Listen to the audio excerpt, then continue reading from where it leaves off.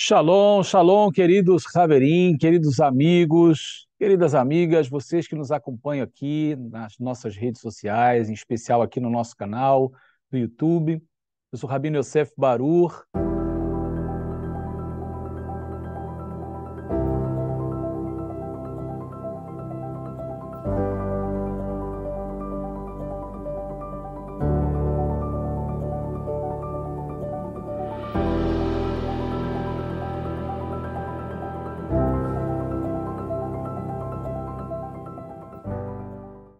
Hoje nós estamos trazendo aqui um outro shiur, um outro estudo que vai trazer bastante informação para todos vocês acerca dos meses hebraicos, né? dos meses do calendário judaico, né? porque é, esses meses são diferentes do calendário gregoriano, que é o calendário de 2024 agora, né?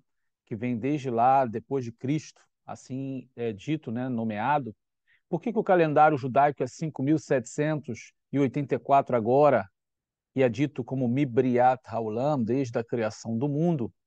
Quais são as diferenças? Por que, que os meses hebraicos têm nomes babilônicos? Então, tudo isso nós vamos ver nesse shiur, nesse estudo de hoje, e já é uma preparação para um outro estudo que nós vamos fazer, que já está pronto, só basta a gente colocar em ordem aqui para vocês, que é sobre a astronomia e astrologia judaica e os últimos dias. Muita coisa boa para aprender, muita informação da tradição judaica que vai acrescentar muito ao conhecimento de vocês. Antes de nós iniciarmos aqui, eu quero novamente estar falando com vocês sobre a nossa yeshiva, a nossa escola judaica, aonde Várias pessoas já têm estudado conosco, muitos alunos e muitas pessoas que estão muito contentes né, com o que aprenderam na nossa yeshiva, na nossa escola. E agora, no mês agora de fevereiro, ou seja, mês que vem, nós vamos estar iniciando mais outras turmas, aonde você vai poder estudar conosco, ter a oportunidade de começar desde lá do princípio, desde Bereshit, aonde começa realmente ali a Torá, a Bíblia Sagrada, né, o Tanar, desde Gênesis até o Sefer Hit Galut, o livro de Apocalipse. E tudo isso dentro dentro do original da língua, né, dentro dos comentários rabínicos, aonde você vai poder ter acesso a conhecimento que talvez até agora você não tinha, né, dentro das interpretações rabínicas, de toda a linguagem antiga do povo de Israel, né, os enigmas, os, os significados que estão dentro da tradição judaica. Então, assim, tem sido muito proveitoso. Há aqueles que já estudaram conosco, que têm dado seus testemunhos, e aqueles que continuam ainda no processo do aprendizado estão conosco, todavia estudando, né? e também já têm dado seus testemunhos acerca do que têm aprendido dentro da nossa escola. Shalom, meu nome é Josi Kelly, atualmente eu moro aqui na Alemanha.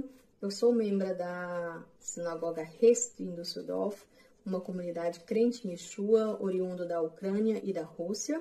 E eu gostaria de compartilhar com vocês um pouquinho da minha experiência com a Yeshiva. É, eu estava em busca de um curso para ampliar meus conhecimentos bíblicos, mas eu queria muito um curso que fosse de acordo com a literatura judaica, foi então que eu encontrei a Yeshiva Zeit Yosef, e desde então eu tenho estudado, aprofundado os meus conhecimentos acerca da Torá. É, a Yeshiva Zeit Yosef, ela tem é, professores excelentes que têm um conhecimento assim extraordinário e eu gostaria de indicar para todo aquele que quer se aprofundar é, mais no conhecimento das Sagradas Escrituras pois é, tido né, a oportunidade de ter as minhas perguntas é, respondidas, pois a Estiva ela tem né, esse ambiente acolhedor, receptivo e também aonde o aluno ele pode se interagir né, é, com o professor e ter ali as suas dúvidas, é, as suas perguntas esclarecidas. Eu quero fazer um convite a você que deseja ter esse conhecimento mais aprofundado da palavra de Deus, conforme a cultura, conforme as raízes mesmo, né, do, do povo judeu, é, porque, como diz a palavra, a eles foram confiados os oráculos é, da palavra do Senhor. E então eu faço esse convite para você. Venha fazer parte. Então convido você para fazer parte desse grupo, fazer parte desse time. Venha estudar conosco na nossa ZIL, na Zeit Yosef Yeshiva University né, sediada aqui no estado da Flórida, nos Estados Unidos, e também tendo agora no Brasil a sua representante, aonde temos é, muitos alunos brasileiros que têm estudado conosco. Então, fique aqui o nosso convite, aproveite essa oportunidade, você tem as informações aqui abaixo na descrição do vídeo, entre em contato com a nossa secretaria e aproveite essa oportunidade, pois já está se findando o tempo para as nossas inscrições. Então, aqui fica o nosso convite, você já é muito bem-vindo à nossa Yeshiva Azil, Azeit Yosef Yeshiva University. Baruchim Abaim, sejam bem-vindos. E quero também pedir a vocês, não esqueçam de deixar aquele like aqui no nosso vídeo, de se inscrever no nosso canal se você não é inscrito, porque ao inscrever-se no nosso canal e a você selecionar lá o sininho, você sempre será recomendado pelos nossos é, os nossos vídeos serão sempre recomendados a você pelo YouTube, aonde cada material que nós lançamos, você vai saber em primeira mão. Então, não deixe de assinar aqui o nosso canal. O nosso canal também temos aqui ah, como promoções, né? onde você pode se tornar parceiro nosso, assinando o nosso canal, e você vai ter acesso a conteúdos exclusivos, inclusive alguns materiais que nós temos produzido, você será o primeiro a receber esse material se você assim assinar o nosso canal. Então, aqui está o nosso convite. Se inscreva, dê aquele like e, se assim você desejar mais, assine o nosso canal e você vai estar abençoando aqui o nosso mistério, a obra que temos realizado, que o objetivo é transmitir conhecimento para as pessoas, poder aproximá-las da Torá, da lei de Deus, dos seus mandamentos, das escrituras sagradas, mantendo o testemunho de Yeshua, o Messias de Israel, o verdadeiro e único Messias de Israel. Bom, então vamos lá, vamos iniciar agora o nosso shiur de hoje. Como nós a, a, anunciamos aqui, os meses hebraicos, ou seja, vamos falar sobre os meses, vamos falar como funciona, qual é a referência deles dentro da Bíblia Sagrada. Será que porque os meses hebraicos tem nomes derivados de nomes babilônicos, está tudo paganizado? Será que é correto o que muita gente tem dito na internet? Há algumas pessoas que defendem a ideia de que está tudo paganizado e nós não devemos falar o nome dos meses, não devemos. Ou seja, será que tudo isso está correto? Eu convido você para que a gente possa caminhar junto aqui. Preparamos um material, um slide para que você possa desfrutar desse conhecimento. Então, já te convido, vamos lá compartilhando aqui a nossa tela com vocês. Baruch Hashem. Bom, vamos falar sobre o mês no calendário judaico, né? Chodesh Baluah Hashanah Yehudit. Então, sim, muita coisa importante para a gente compartilhar. E eu já inicio com vocês. O mês em hebraico, né, que é dito Chodesh, deriva do radical da palavra Hadash, que quer dizer novo. Isto se dá porque o primeiro dia de cada mês é sempre o primeiro dia da lua nova. Isso é uma determinação encontrada na Torá, em especial no livro de Shemot, no livro de Êxodo. Porém, esta é uma regra lógica, já que esta é a única fase da lua que pode ser determinada com precisão, sem a necessidade de nenhum instrumento ou conhecimento maior da astronomia. No auge da lua nova, ela desaparece completamente e no dia seguinte vemos uma pequena listra branca ao olharmos para o ocidente, poucos minutos após o pôr do sol, o que determina precisamente o primeiro dia do mês judaico. Então, olha que coisa interessante. Quando você olha para os céus e você vê que a lua ela se tornou totalmente nova, né? É Hadash, ou seja, ela apagou, ela sumiu, né? Porque ela está toda escura agora. E quando ela começa novamente a abrir, é literalmente o primeiro dia do mês do calendário hebraico. Então, toda vez que você vê a lua nova já abrindo, ou seja, aquela listrinha branca aparecendo, ali já é o primeiro dia do mês. Então, fica muito fácil até de você contar os dias do, dos meses ou se guiar por eles olhando para a lua. De sete em sete, ou seja, de semana a semana, claro, tendo uma certa variação, às vezes de oito dias, às vezes não sete precisamente. Isso depende muito da, da maneira como a Lua está se comportando no universo ali ao redor da Terra. Então a gente vai ter, às vezes, alguma variação de grau. Às vezes é um dia, um dia e meio, às vezes é quase dois dias. Por isso que às vezes o mês tem 30, né, no calendário hebraico. Sempre 29 e 30, nunca 31, né? Então, você, se você conta de 7 em 7, você tem a lua nova, quando está aparecendo aquela listrazinha, o primeiro dia. Sete dias de depois, você tem a quarto crescente, quando ela está metade dela branca, metade escura. Aí, quando ela está toda cheia, é o 15 dia, ou seja, de 14 para o 15 dia. Mais uma semana passa para o 21 dia, você tem a outra metade dela branca e a outra metade escura, que a gente vai chamar de minguante. E mais sete dias, você vai ter a finalização do mês aí entre 29 a 30 dias, caindo para o primeiro dia do mês seguinte, onde ela vai estar toda escura e aparecendo na lista de novo. Então, eu espero que você tenha entendido, justamente por causa dela se tornar nova de novo, ou seja, de iniciar um novo, uma nova contagem, é por isso que o mês em hebraico se chama Rodes, que vai vir da palavra Hadash. Eu espero que tenha ficado claro para todos. Né? Então, vamos continuar aqui.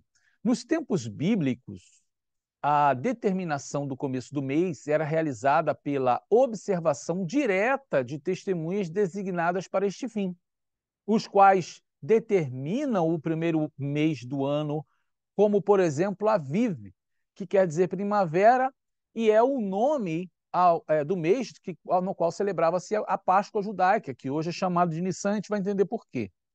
Mas naquele tempo era chamado Aviv. Hoje em dia segue-se um cálculo qual já leva em conta outros parâmetros religiosos adicionados por rabinos da época do Talmud. O ciclo lunar é de aproximadamente 29 dias e meio, o que gera uma alternação de meses com 29 ou 30 dias, como já mencionamos, e a duração média de um mês hebraico é de 29,530594 dias, muito próximo ao mês sinódico, ou seja, entre as duas luas novas.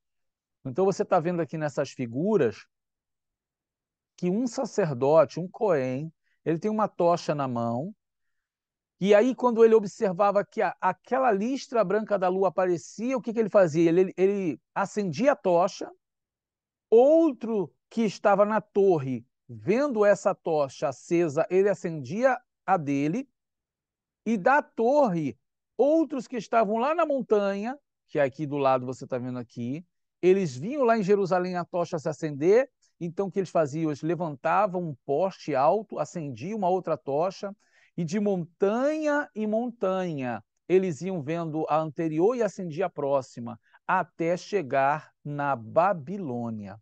Assim era a maneira como eles expressavam isso para as cidades mais longínquas. Então aqui você tem uma outra figura também representada, essa figura é, extraímos do Instituto do Templo em Jerusalém, né, do Mahona Beit HaMikdash, e aqui você vê um grupo de judeus em Jerusalém com uma, uma tocha bem alta, né, ou seja, com um poste, uma tocha lá em cima, porque eles estão aqui pertinho da cidade de Jerusalém, onde no templo aquele sacerdote acendia, o lado da torre acendia dele. Eles estão aqui no Har Hamishá, que é o Monte das Oliveiras. Ali eles acendiam uma outra, aí outros acendiam a outra tocha lá numa montanha posterior, a Garpiná, outro mais adiante ainda, até chegar em Pumbedita, na Babilônia, né? Horon, Pumbedita, Babilônia. Ou seja, isso é só para vocês entenderem como chegava de montanha em montanha até chegar nas cidades mais longínquas o anúncio do mês judaico, de um novo mês judaico. Bom, eu quero caminhar com vocês agora no nome dos meses do calendário judaico e suas durações. nós vamos ver aqui de maneira bem conceitual que os nomes judaicos dos meses, eles são nomes herdados da língua babilônica, do caldeu.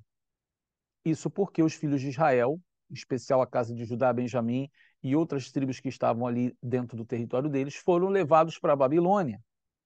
Então lá eles acabaram se adequando aos nomes do calendário babilônico. Agora, é muito importante salientar aqui que ao trazer o nome do mês para a língua hebraica, muda-se o sentido do nome daquele mês em babilônico e agora estando na língua hebraica, ele adquire outro significado. Tá? Não é o mesmo significado. Eu estou dando esse exemplo aqui porque existe um mês dentro do calendário hebraico chamado Tammuz. E muita gente vai associar o nome desse mês à divindade, um ídolo chamado Tammuz. Mas quero que vocês entendam que são duas coisas diferentes. O nome se parece, o nome se pronuncia igual, mas são duas coisas diferentes. Os judeus não estão no mundo chamando o nome de Tammuz porque o nome do mês é Tammuz, não. É diferente. Tem muita gente que é extremista, não conhece história, não conhece a língua e acaba criando suas próprias interpretações e trazendo esse tipo de conceito de que o povo judeu está cometendo idolatria porque tem o um nome do mês babilônico chamado Tammuz, que é o nome de um deus pagão. Não tem nada a ver uma coisa com a outra. A palavra pode ser a mesma, mas não é a me... É, ou seja, ela pode ter a mesma pronúncia, mas não é a mesma palavra, ou seja, não significa a mesma coisa, tá? E vocês vão ver aqui agora qual é a alteração que há do nome babilônico para o nome hebraico e o seu significado, ok? Então, eu peço você que você caminhe comigo, porque isso vai ser muito importante para o seu crescimento intelectual dentro do conhecimento da língua e da história do povo de Israel, do calendário hebraico. Isso será muito importante, tá? Então acompanhe conosco aí. Então, o que você está vendo aqui agora é, é o nome dos meses do calendário judaico e suas durações. Eu coloquei para vocês aqui, é, né, aqui eu botei o número 1 porque ele é o primeiro mês, ele, ele vai ser contado como o primeiro mês dentro de uma concepção religiosa. Isso é, é embasado lá em Shemot, em Êxodo, quando os filhos de Israel vão ser tirados do Egito. O Eterno ele vai marcar esse mês de Nissan, que na época se chamava Aviv, que quer dizer primavera, ou seja, então era o nome do mês Aviv, era o mês da primavera, e ele vai ser marcado como o primeiro de todos os meses do ano. Isso no que diz respeito à parte religiosa. Então, eu botei um aqui justamente para vocês terem essa ideia de que ele é o primeiro mês. O nome dele é Nissan, o nome hebraico dele. Ah, o símbolo da constelação da Masal dele é um carneiro. No, na linguagem comum é chamado Áries, né? mas isso é só para a gente marcar e conhecer a constelação que está atrelada a esse mês hebraico. Ele tem a duração de 30 dias, né? Shloshim Yamin, e o nome dele deriva dessa palavra babilônica Nissano. Nissano, ok? Então, é só para você ver que em babilônico se pronunciava de outra maneira. A raiz é a mesma, Nissanu. Aqui em hebraico é Nissan, somente. Tá? Então, vamos prosseguir. O segundo mês é o mês de Iar. Iar.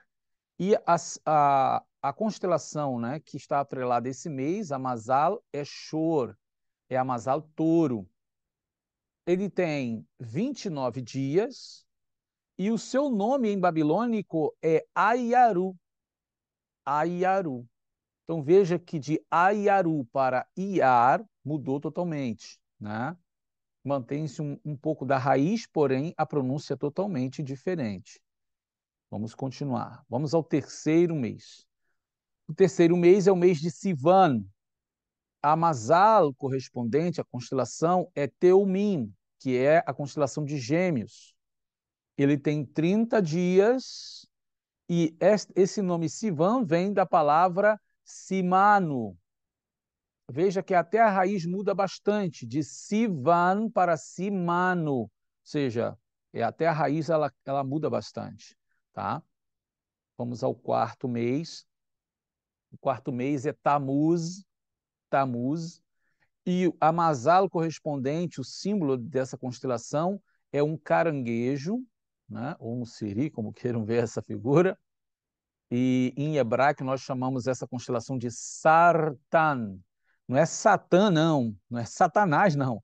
É Sartan. Sartan. Tem 29 dias e essa palavra Tamuz vem do vocábulo babilônico do uso, do uso, do uso Tamuz. Você vê que não tem nada a ver a raiz de uma com outra. Não? Vamos ao quinto mês. O quinto mês é Av. Av. O Amazal, a constelação correspondente a esse mês é o leão. Nós chamamos em hebraico Ariê. Ele tem 30 dias. E a palavra Av vem da palavra babilônica Abu. Abu. Ok? Vamos ao sexto mês. O sexto mês é o mês de Elul. A Mazal correspondente, ou seja, a constelação é Btulá, é a Virgem. Ele é composto de 29 dias. E a palavra correspondente para Elul no babilônico é Ululu. Ululu. Daí vem a palavra Elul. Ok? Vamos ao sétimo mês. O sétimo mês é o mês de Tishrei. Tishrei. A Mazal correspondente é uma balança, nós vamos chamar de Mosnai em hebraico. É, se eu não me engano, na, na, linguagem coloquial normal do calendário gregoriano é Libra, né? Eu acredito que seja. 30 dias são a composição de dias desse calendário. E a palavra Tishrei vai vir do vocábulo babilônico tashrito. Tashrito. Ok? Vamos aqui ao oitavo mês, mês de Heshvan. Heshvan. A Mazal correspondente, o símbolo da, dessa constelação é um escorpião, que em hebraico nós vamos chamar de Akrav. Akrav. Ele varia de 29 a 30 dias. Isso pode acontecer por causa da variação da lua. E a palavra Heshvan vem do vocábulo babilônico Ararsama. Ararsama, ok? Você vê que muda bastante, né? A pronúncia. O nono mês é o mês de Kislev. Kislev, a Mazal correspondente, o símbolo da constelação, é um arco, por isso em hebraico nós vamos chamar Keshet. Keshet. No, na linguagem popular é Sargitário, que sempre mostra um cavalo da cultura grega, né? o, é, o Sargitário, que é metade homem, metade animal, cavalo, e tendo um arco na mão. Essa é a forma mais pagã né? que, é, que é conhecida. Mas dentro do calendário hebraico é somente um homem com um arco. Tá? Vai de 29 a 30 dias, também sofrer, podendo sofrer essa alteração. E a palavra Kislev vem do vocábulo babilônico Kissimo. Kissimo, Ok? Vamos aqui ao décimo mês. O, mês, o décimo mês é o Tevet. Tevet é a Mazal correspondente, ou seja, o símbolo da constelação é um, um cabrito ou uma cabra, que é chamado de Gedi. Gedi. 29 dias é a composição dos dias. E a palavra Tevet vem de Tebeto em babilônico, tá? Essa é a pronúncia babilônica, Tebeto. Vamos ao décimo primeiro, que é Shvat. Shvat. Shvat, a Mazal correspondente, ou seja, o símbolo da constelação desse mês é um, um homem com um cântaro derramando água, ou apenas um cântaro derramando água, que é chamado de aquário, em hebraico, dli, né? Dli. Tem 30 dias, como composição dos dias do mês. E a palavra Shevat vem da palavra babilônica Shabato. Shabato, muito semelhante a Shabat, né? Mas muda aqui a letra final, então não é a mesma coisa. E chegamos então ao 12 mês, né? completando aí 12 meses no ano, que é o mês de Adar. Adar. E o símbolo correspondente a esta masala, a esta constelação, são dois peixes. Logo, então, o nome é dessa constelação é Peixes, que em hebraico nós vamos chamar de Dagim. Dag quer dizer peixes, Dagim, peixes, no plural. Também tem uma variação de 29 a 30 dias, e a palavra dar, ela vai vir do vocábulo babilônico adaru. Adaru tem muita semelhança, tem a mesma raiz. Né? Então, acredito que até aqui a gente conseguiu ver todos os meses do calendário hebraico, né? a composição dos seus dias, as constelações correspondentes a cada mês e da onde o nome desse mês ele derivou nos vocábulos babilônicos. Agora, na Bíblia eu encontro cada um dos meses do calendário judaico? Sim, encontramos. Então, a observação é o seguinte: na época de Moshe, de Moisés, quando foi instituído o ano, começava no mês de Aviv, Nissan, que corresponde mais ou menos aos nossos meses do calendário gregoriano, a março, abril. Né? Vamos ver aqui então agora o Sefer Shemot, o livro de Êxodo, capítulo 23, do verso 14 a 16. Deus diz: Três vezes no ano me celebrarás festa. A festas do Matzot, ou seja, dos pães ázimos, guardarás. Sete dias comerás pães ázimos, como te ordenei, ao tempo apontado no mês de Aviv, porque nele saístes do Egito. E ninguém apareça perante mim de mãos vazias. Também guardarás a festa da cega e das primícias do teu trabalho, que houveres semeado no campo. Igualmente guardarás a festa da colheita à saída do ano, quando tiveres colhido no campo os frutos do teu trabalho. Só muito tempo depois, o ano civil passou a se iniciar em Etanim, que é o mês de Tishrei, que equivale a setembro, outubro, como nos dias de hoje. Espero que você tenha acompanhado bastante aqui a descrição né, de como se comporta ali o mês e como foi a ordenança de Deus para Moisés e para o povo de Israel. Como deveria ser contado a Páscoa. Então, ou seja, a celebração da Páscoa, que é a celebração dos pães ázimos, está atrelada ao, à, à, à estação da primavera. Não tem como se celebrar a Páscoa no outono, nem no verão, e sim na primavera. Então, essa é a importância do calendário, tá certo? Vamos prosseguir aqui.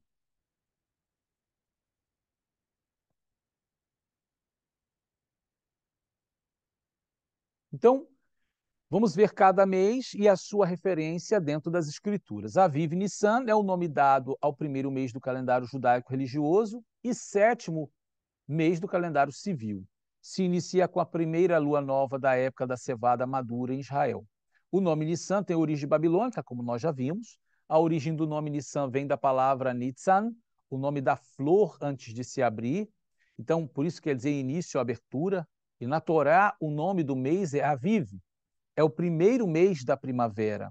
Primavera em hebraico, Aviv ou Abib. E este mês marca o início da primavera no hemisfério norte. Neste mês, todos os Yehudim, os judeus, comemoram Pessah, que é a Páscoa judaica, no dia 15 desse mês, mês de Nissan, correspondente a março, abril no calendário gregoriano. E é citado no Tanar, na Bíblia, em Êxodo 12, em Êxodo 23. Em outras partes, eu coloquei duas referências para vocês. A primeira, de Êxodo 12, verso 2, diz: Este mês será para vós o princípio dos meses. Este vos será o primeiro dos meses do ano.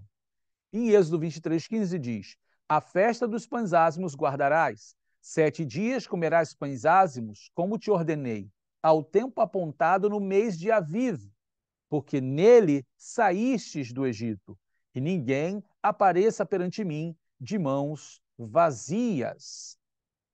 Bom, isso é tudo que se refere ao mês de Nissan. Tá? Vamos a outras referências dentro do Tanar, as que nós vimos foi da Torá, agora vamos ver de Neemias, também do livro de Esther. Neemias 2:1 diz: Sucedeu, pois, no mês de Nissan, no ano vigésimo do rei Artaxerxes, quando o vinho estava posto diante dele, que eu apanhei o vinho e o dei ao rei. Ora, eu nunca estivera triste na sua presença.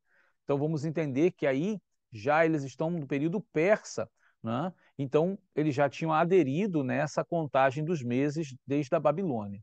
Em Esther 3,7, também no período persa, diz: no primeiro mês, que é o mês de Nissan, no ano duodécimo do rei Assuero, se lançou Pur, isto é, a sorte perante Ramã, para cada dia e para mês, até o duodécimo, que é o mês de Adar.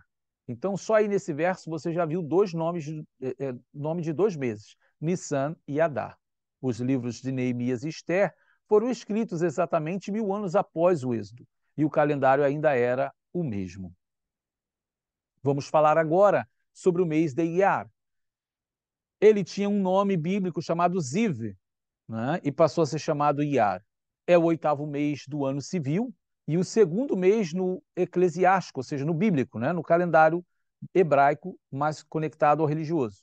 Ziv é um nome hebraico. O significado do nome é luz ou brilho, correspondente a abril, entre abril e maio, no calendário gregoriano, é citado no Tanar, ou seja, na Bíblia, em 1 Reis 6.1, que diz Sucedeu, pois, que no ano 480, depois de sair os filhos de Israel da terra do Egito, no quarto ano do reinado de Shilomor Hameler, o rei Salomão, sobre Israel, no mês de Ziv, que é o segundo mês, começou-se a edificar a casa de Adonai.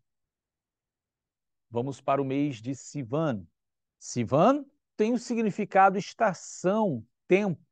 É o nono mês do ano civil e o terceiro mês do ano eclesiástico, ou seja, religioso no calendário hebraico. É o mês da primavera em Israel. Corresponde a maio, junho no calendário gregoriano. É citado no Tanar, na Bíblia, em Esther 8:9, que diz: Então foram chamados os secretários do rei naquele mesmo tempo no terceiro mês, que é o mês de Sivan, no vigésimo terceiro dia. E se escreveu conforme tudo quanto Mordecai ordenou a respeito dos judeus. Aos sátrapas, aos governadores e aos príncipes das províncias, que se estende da Índia até a Etiópia, 127 províncias, a cada província segundo o seu modo de escrever, e a cada povo conforme a sua língua, como também aos judeus segundo o seu modo de escrever e conforme a sua língua. Aí você tem a referência que fala de Sivan. Vamos ao mês de Tamuz. Corresponde a junho e julho, pós-exílio, considerado o primeiro mês negativo. O segundo é Av. E em Elu há o julgamento das ações. Os dias entre 17 de Tamuz a 9 de Ave são três semanas, são dias de luto, em lembrança do colapso de Jerusalém durante a ocupação romana que ocorreu entre essas datas. O dia 17 de Tamuz é um dia de jejum em memória da queda de Jerusalém, ocorrida antes da destruição do segundo templo pelos romanos. Tamuz era um deus dos sumérios, conhecido como Dumuzi ou Damuzi, e pelos egípcios como Osíris. O mês de Tamuz é o décimo na contagem da criação do mundo e o quarto na contagem da saída do Egito. Quero lembrar a todos que nós falamos anteriormente que a raiz do nome Tamuz não tem nada a ver com a divindade Tamuz desses povos do Oriente. Ou seja, a, na Babilônia estava atrelado ao nome do mês, que se assemelha ao nome da divindade. No calendário do agricultor hebreu, encontrado nas escavações de Gezer, o mês é denominado a lua, ou seja, o mês da poda. Nas escrituras, há várias menções ao quarto mês. O nome Tamuz, porém, aparece apenas uma vez, referindo-se a um ídolo assírio ou babilônico, ou seja, a semelhança da, da, pronúncia, da, pronúncia né, da expressão. Ao regressarem do exílio da Babilônia, os judeus passaram a usar o nome Tamuz para designar o quarto mês. E desde então, seu uso ficou estabelecido, sendo comum nos escritos dos sábios. Vamos ao mês Av. Av ou Ab corresponde a julho e agosto e é o nome pós-exílico do quinto mês lunar do calendário sagrado judaico. O significado do nome Ave é incerto. Alguns escritores relacionam a palavra pai, porque em hebraico a palavra Ave é pai.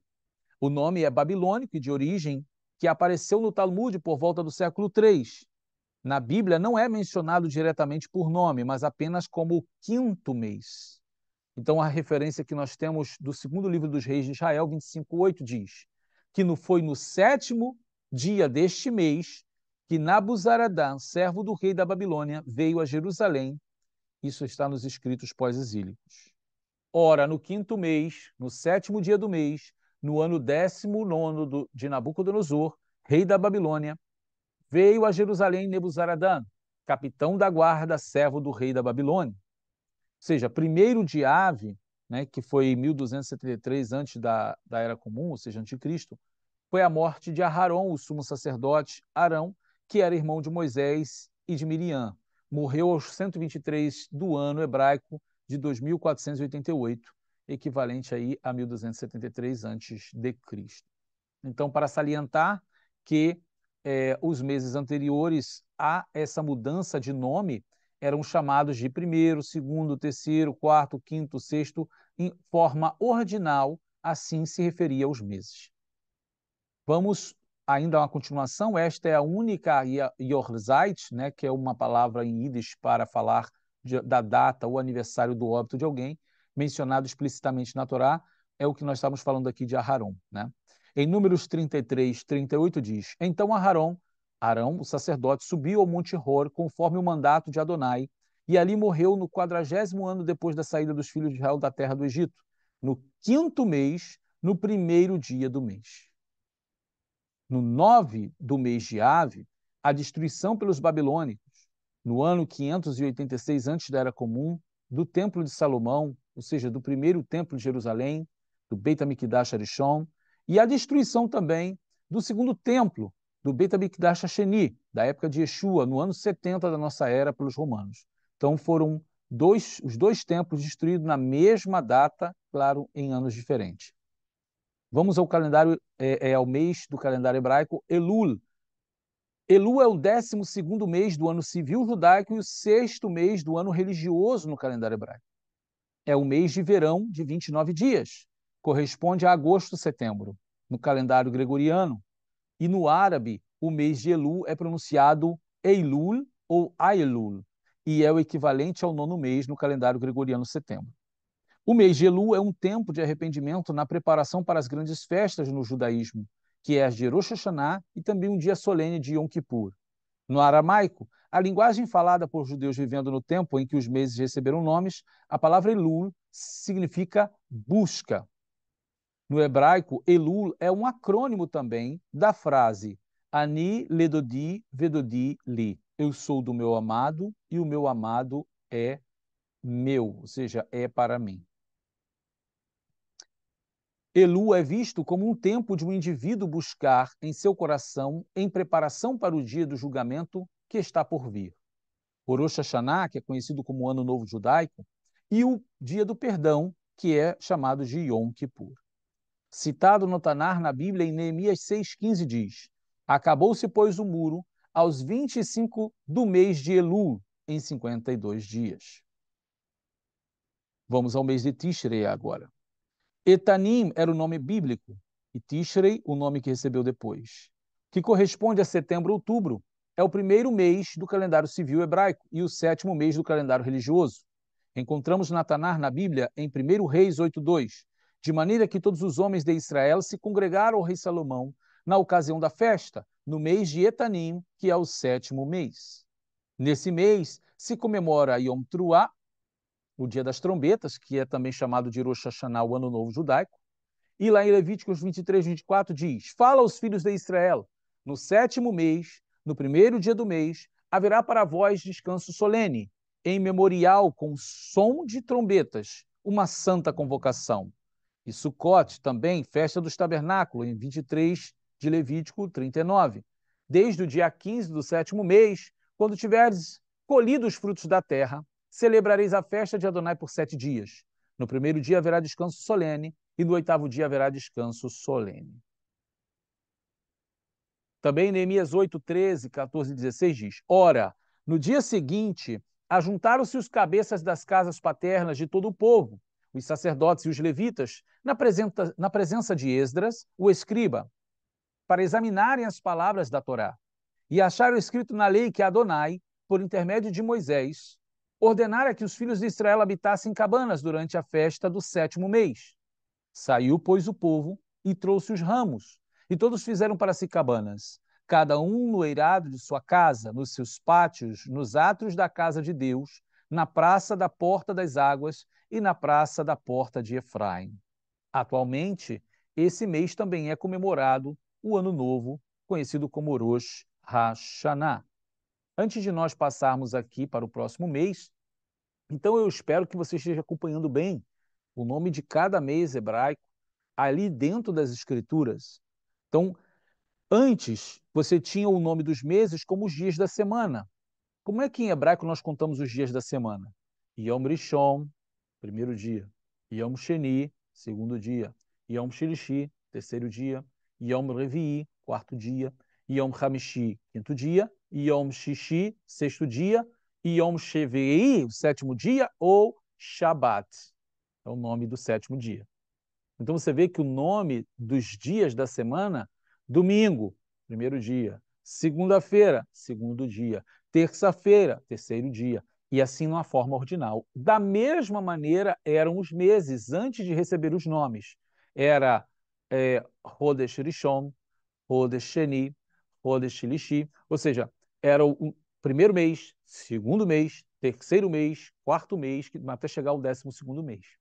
Houve essa mudança a partir do momento que regressaram da Babilônia, porque passaram a dar o um nome a esses meses. Tá? Mas vamos continuar aqui, que estamos já chegando ao final do nosso shiur, do nosso estudo, é, para que a gente complete né, toda a compreensão dos meses. Então, agora, a gente vai ver o mês de Heshvan, que na Tanar, na Bíblia, chamava Bul, ou Mar Hesvan, que em hebraico é Heshvan, né, trazendo aí essa, essa expressão da Babilônia. É o segundo mês do ano civil e oitavo mês do ano religioso no calendário hebraico. Na Bíblia é chamado de Bul, é um mês de, outono de 29 dias, exceto em anos completos, no qual tem 30 dias. Heshvan geralmente cai em outubro novembro no calendário gregoriano e é citado no Tanar na Bíblia em 1 Reis 6, 38. E no undécimo ano, no mês de Bul, que é o oitavo mês, se acabou esta casa com todas as suas pendências e com tudo o que lhes convinha, assim levou sete anos para edificá-la. Então você vê que aparece o nome Bul, né?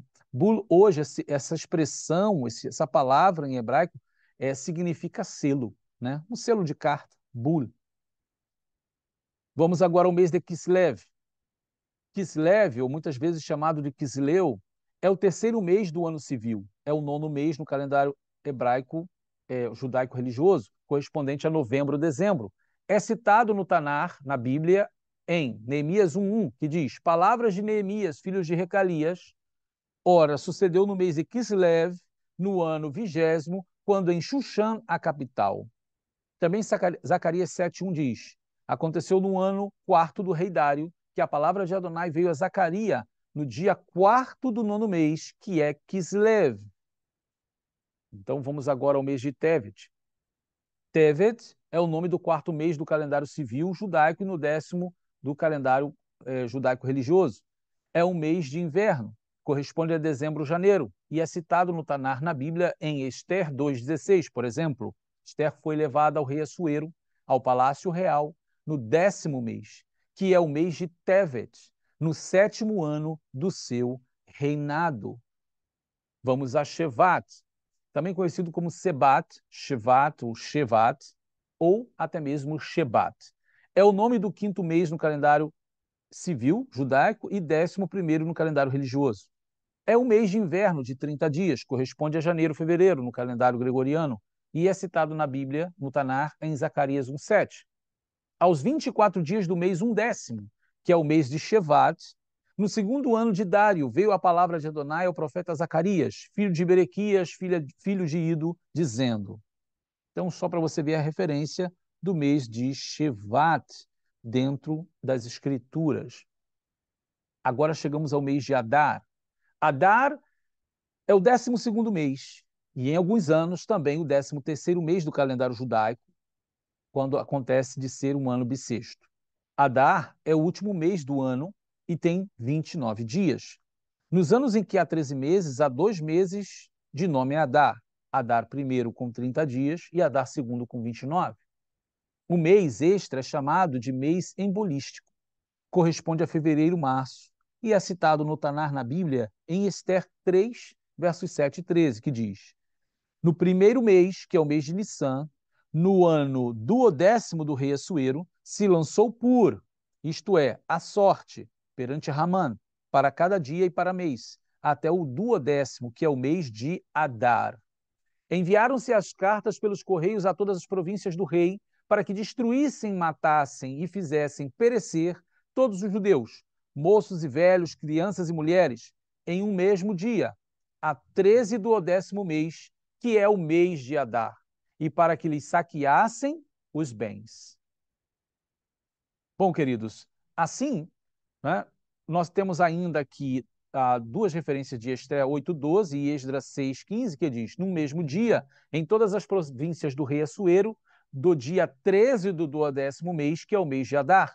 E Esdras que diz, e acabou-se esta casa no terceiro, de, no terceiro dia do mês de Adar, no sexto ano do reinado do rei Dario. Bom, acredito que assim temos chegado ao final do nosso Shiur. Né?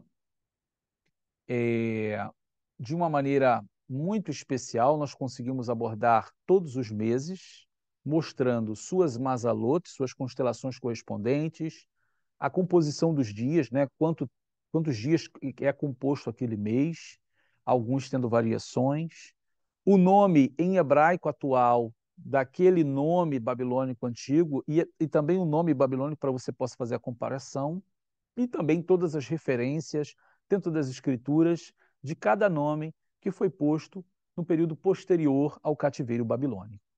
É, esse shiur, esse estudo de hoje, ele vai ser muito importante para que você possa entender. Você pode considerar esse estudo de hoje como uma introdução ao que nós vamos trazer para vocês da astronomia e astrologia judaica e os últimos dias. Muita coisa importante para você conhecer no que envolve as constelações, no que envolve os sinais que Deus deixou nos astros para o povo de Israel, e esse conhecimento que foi dado a Adão no Ganeda e foi passado para é, Sete, foi passado para Enoque, foi passado para Noé, chegou a Abraão vindo, né, nosso pai Abraão, chegou aos pais de Israel, os fundadores da nação, e permanece até os dias de hoje. Coisas muito importantes que estão sendo refletidas hoje no cenário mundial. Inclusive, para se entender o livro de Apocalipse, vai ser muito importante esse shiur sobre astronomia e astrologia judaica e os últimos dias. Não perca, por isso eu falei para vocês aqui, se você não está inscrito, se inscreve para você receber a notificação. Não, não deixe passar. Isso vai ser muito importante para você compreender coisas que estão acontecendo no cenário mundial agora. Não é? Ou seja, como um reflexo do mundo astronômico, do mundo espiritual. Fique tranquilo que aqui não tem nada de horóscopo, não é isso que vamos falar. Vamos falar conteúdo bíblico e, e re refletido dentro da tradição judaica. Tenho certeza que vai acrescentar muito ao conhecimento de vocês. Então, queridos, vamos terminando por aqui e eu vou terminando pedindo a vocês, deixa aquele like, ajuda a gente aqui no nosso canal, se inscreve se você não é inscrito, toca lá na, campa na campainhazinha, no sininho, para que você possa receber as notificações. Se você deseja apoiar o nosso canal, torne-se membro e você vai poder assinar ali o nosso canal, nos ajudando a compartilhar essa palavra. Que o Eterno vos abençoe de uma maneira muito especial. Nós vamos terminando o nosso shiur aqui e, claro, nos vemos no nosso próximo é, shiur, nosso próximo estudo. Não se esqueça da nossa estivá. Né? Agora, fevereiro, vamos iniciar as nossas turmas e você não pode ficar de fora. Shalom Uvrahá, nos vemos no nosso próximo vídeo. Que o Eterno vos abençoe. No nome do nosso Mashiach Yeshua. Shalom, shalom.